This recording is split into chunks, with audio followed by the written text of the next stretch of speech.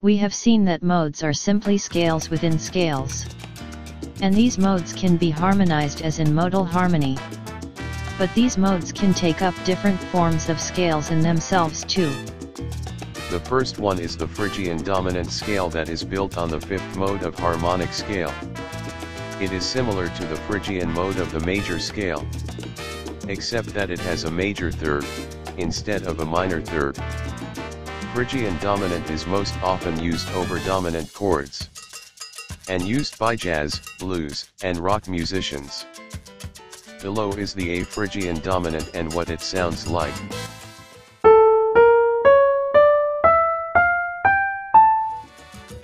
Next is the Lydian dominant scale, which is built on the fourth mode of melodic minor.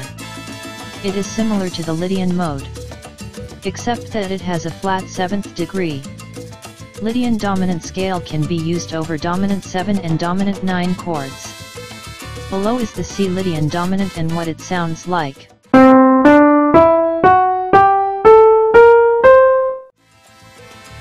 The next altered scale is called Lydian augmented, which is built on the third mode of melodic minor scale.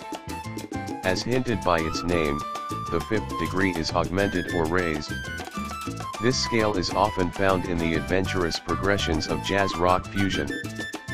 Below is the C Lydian augmented and what it sounds like.